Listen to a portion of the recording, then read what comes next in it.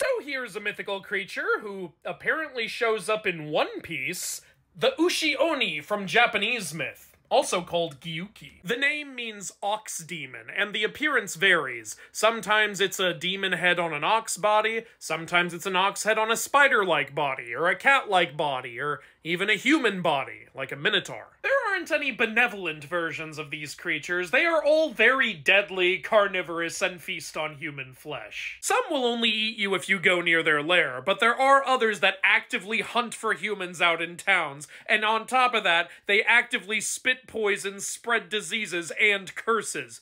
Whole new type of pest. Sometimes they'll even join up with other yokai like the Nure-onna, who lure men towards the water. Then when the men go to the water, both of these yokai eat them.